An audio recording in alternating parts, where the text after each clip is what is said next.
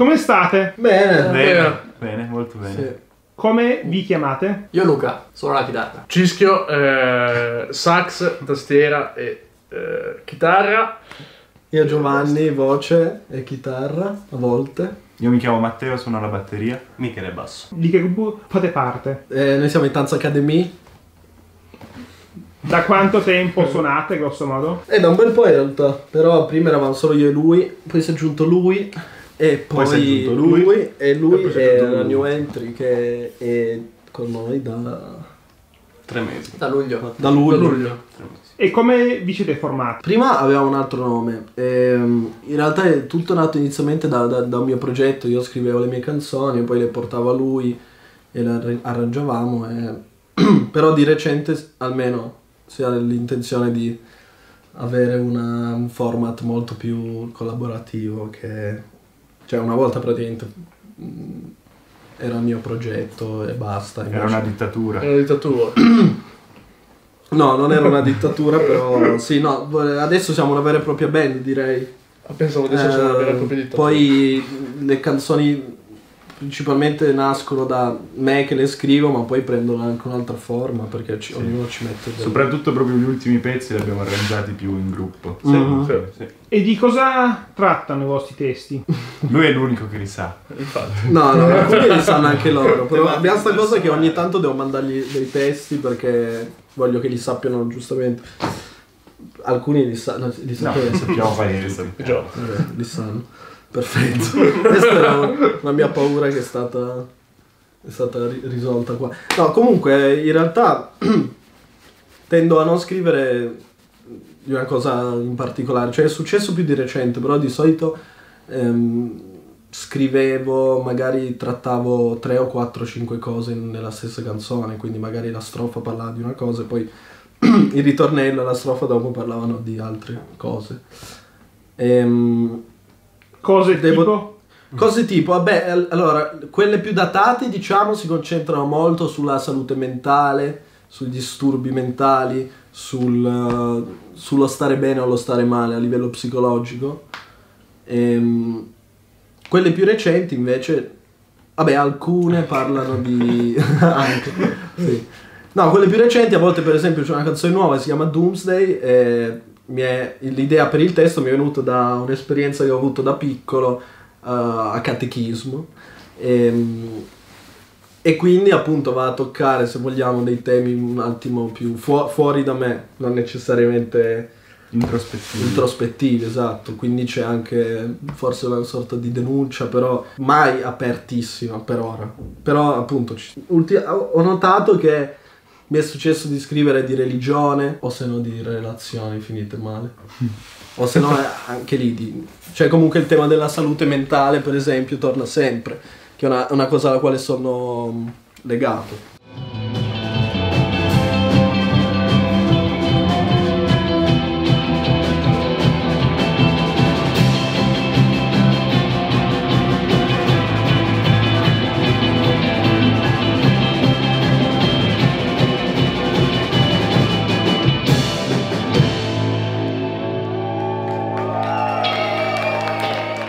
In che lingua sono i testi? in inglese Perché? No, ehm, in realtà non è stata una scelta, cioè vabbè, s- sembra che faccio il figo a dirlo, però in realtà mi mi- seriamente da quando sono piccolo, ascoltando solo cose in inglese principalmente, mi è poi venuto spontaneo scrivere in inglese.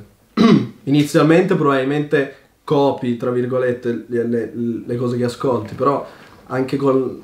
Cioè, ritengo di aver raggiunto un livello di maturità in cui ora ho la consapevolezza di quello che faccio e posso scegliere come esprimermi, però appunto l'inglese mi viene più naturale nella musica. Poi se devo scrivere una poesia la scrivo in italiano, però È critica anche quasi un connotato identitario, un po'.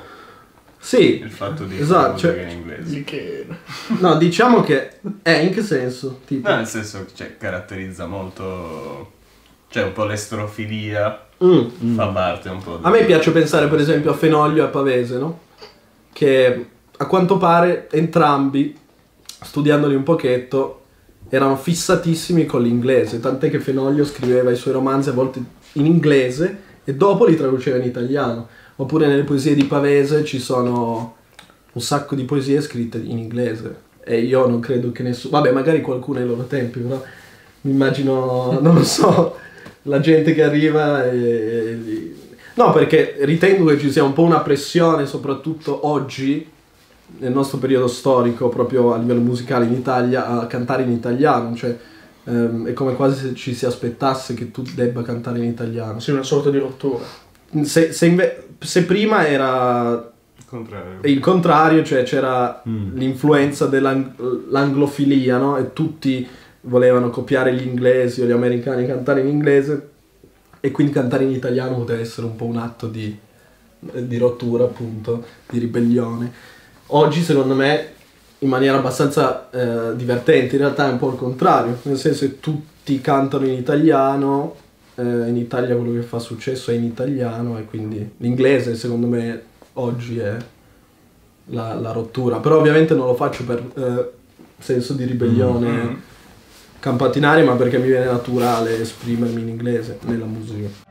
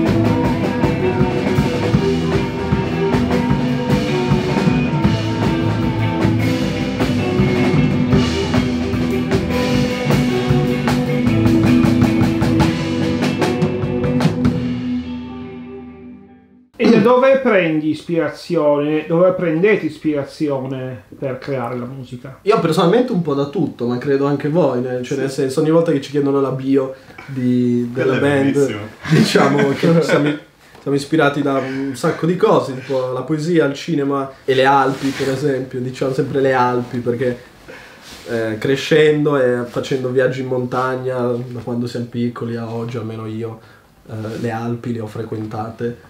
E- Sì, poi c'è da dire anche che da noi, cioè proprio da Alba, eh, le Alpi si vedono sempre da lontano, tipo al tramonto, Sì, sì, l'alba sì. rappresentano un po' anche questo mondo magico, non so, io mi vedo sempre questo muro che cela eh, veramente, non so, qualcosa di, di che va oltre.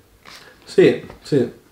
Io Diciamo che la- alle Alpi. Io anche, e diciamo Sì, che probabilmente la- è, la- è la- è il lato, dire spirituale forse è una parola Ah, ci sta. eccessiva, però è il lato sì. spirituale della musica, no? Che poi è la natura, però appunto ehm, le Alpi mi ricordano anche molto la mia infanzia, c'è una connessione sia umana che non umana. Il nostro nome viene da un film, Tanza Academy viene dal film Suspiria di Dario Argento, o remake di Luca Guadagnino che io ho apprezzato moltissimo. Anche se Dario. Argento non l'ha apprezzato, io l'ho apprezzato un sacco. Tant'è che il nome viene forse, cioè mi ha ispirato di più il remake di Guadagnino che l'originale Dario Argento. Eh, denunciatemi se volete. E quali artisti vi piacciono? Ah, Una testa, vai Luca, parti tu. Beh, probabilmente ci, ci incontriamo tipo nei Cure, in quella roba post-punk. Esatto, Poi sì. ognuno, ognuno ha delle influenze più, più disparate. Sì, Ah sì. sì, Io sono cresciuto un po' con mio padre e mi faceva sentire il post-punk, il new- la new wave inglese Mhm. e Bowie che è Mm. sopra tutto. Però Forse io tra le cose che ascolto più vicine a quello che facciamo ci sono gli Arcade Fire. Assolutamente. sì, appunto, anche contemporanei. Mm. E poi Tipo? ovviamente Di contemporanei? Eh, ovviamente non posso, cioè almeno io personalmente, ma in parte anche loro, eh, ho subito il fascino, ho subito pesantemente il fascino della- del revival post-punk che c'è in questi anni, no? Mm. Negli anni 20, cioè, è ritornato in Inghilterra, in Irlanda, eccetera. Che gruppi? Fontaines DC, Idols, Shame, eh, Certo. e in realtà è stato importante per me personalmente che sia tornata quel- quell'onda perché lo scollega da un discorso anacronistico e, e lo riporta a essere contemporaneo e attuale e importante. E invece la musica italiana non vi piace? No.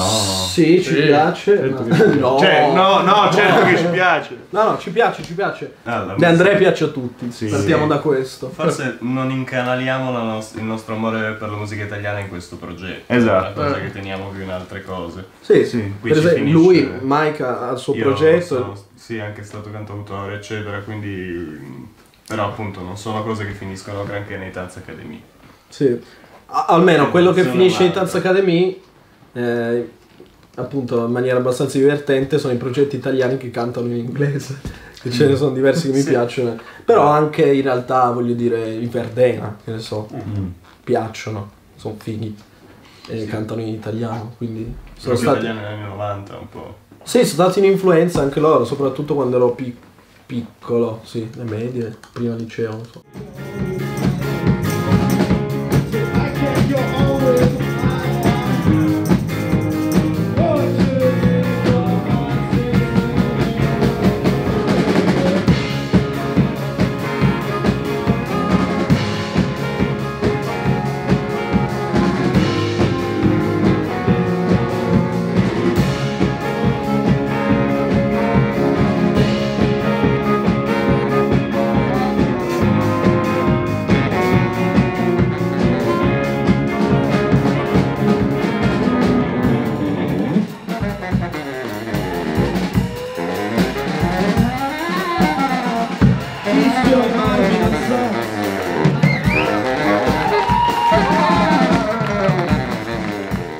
La live, concerti. Vi piace il palco o vi terrorizza? Personalmente mi piace un botto. Sì, siamo fan. Eh, a. Cischio piace un botto. A me piace un botto. Ah, io ho fatto una bella parabola in cui ho sempre avuto difficoltà non a stare sul palco ma a esprimermi sul palco. Di recente mi sento un po' più sciolto. Sarà anche da quando suono meno la chitarra, eh, anche perché si è aggiunto lui eccetera, quindi ho più spazio per muovermi, esprimermi coi gesti. Ehm, però sì, all'inizio facevo fatica. A me spaventa più. Adesso anche ogni tanto, però...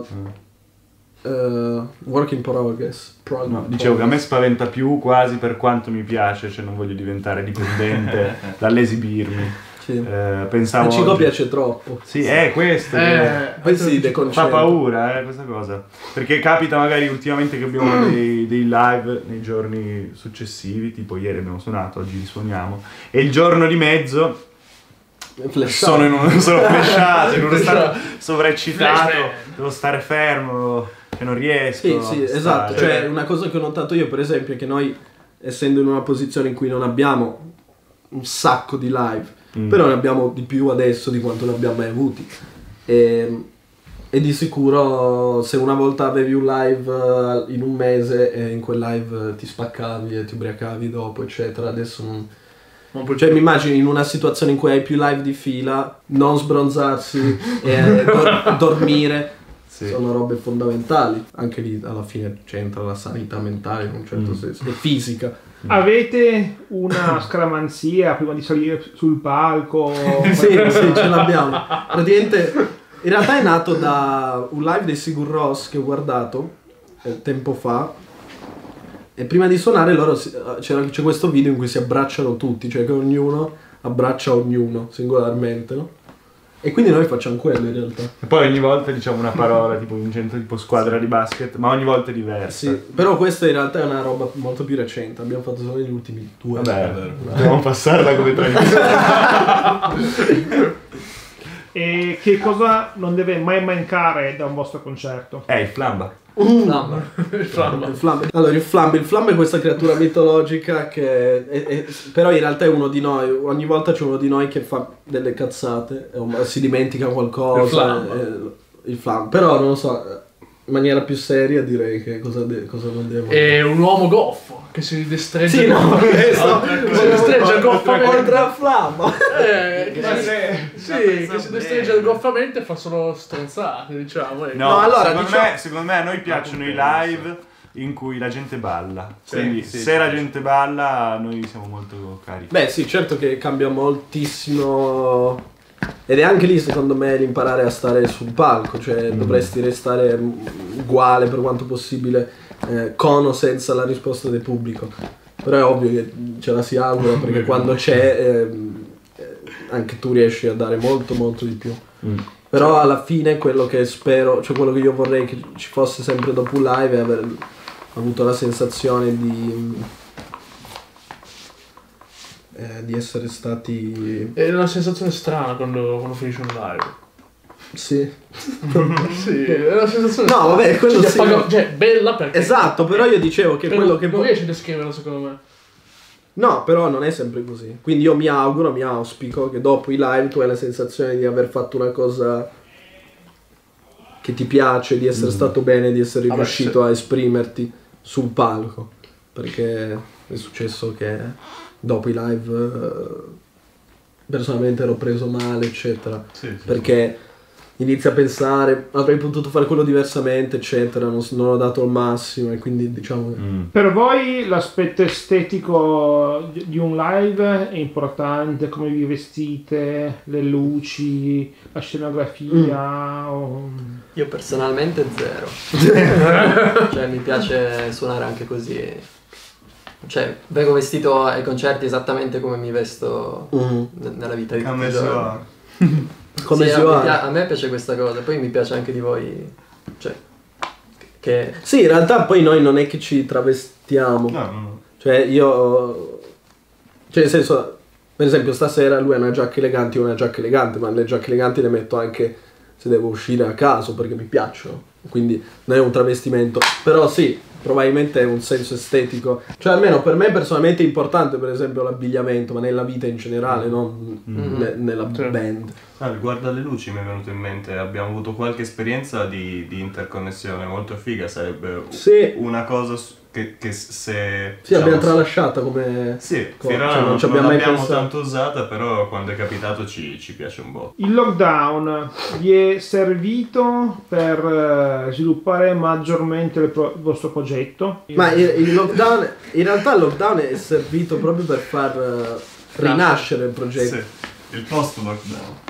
Sì, perché prima avevamo un, eh, appunto un altro nome, un'altra formazione, poi lockdown e sostanzialmente ognuno si è fermato e poi però io avevo questa cosa che mi sarebbe piaciuto riuscire a formare un gruppo e siamo riusciti dopo il lockdown perché appunto si aveva la sensazione di iniziare sempre da capo con gli eventi della vita, no? Cioè E durante il lockdown sei riuscito a scrivere qualcosa oppure zero? No, non zero, ho scritto delle cose, non ho neanche, cioè non ho avuto neanche quella cosa del sono chiuso e quindi scrivo un romanzo. Erano più i film che vedevo, le serie Netflix che vedevo piuttosto che quello che scrivevo. Però di sicuro, anzi, forse dopo, verso la fine del lockdown, quando si iniziava un po' a mm, riassaporare mm, la vita, viene, è venuta anche più ispirazione.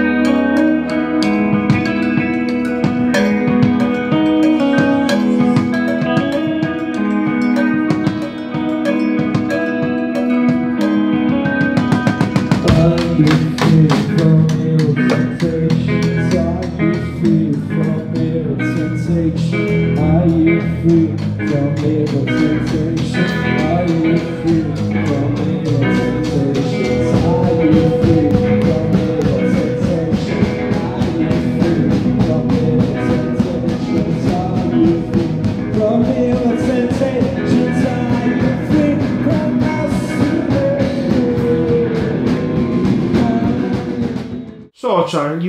Usate, non li usate? Sì, li usiamo. Cioè, almeno abbiamo una un pagina. Instagram, eh, siamo abbastanza attivi. Facebook no, perché io lo trovo palloso, però forse dovremmo averlo. No. No. Niente se ne frega.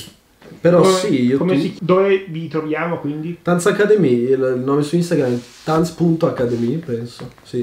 E poi abbiamo una mail che è lì su Instagram, abbiamo Bandcamp, Soundcloud, Spotify, Spotify. E avete già registrato dei dischi? Dischi no, abbiamo fatto uscire un singolo a marzo del 2022. Mhm. Sì, quest'anno.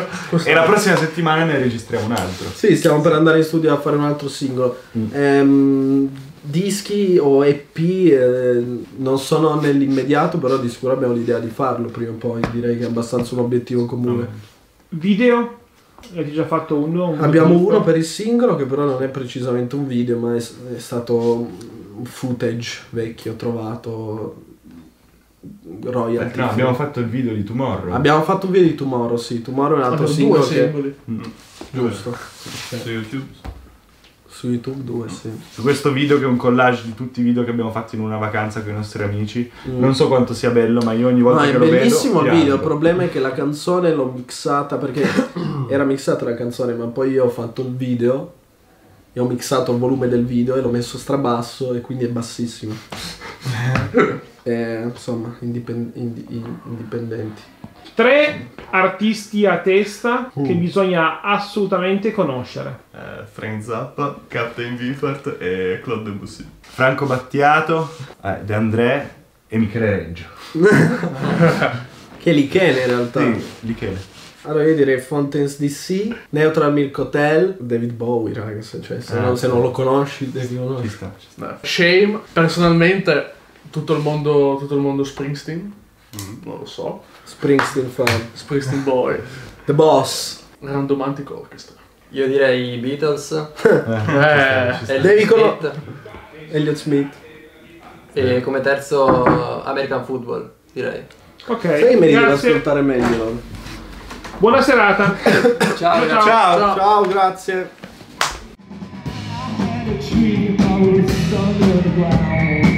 My friends and family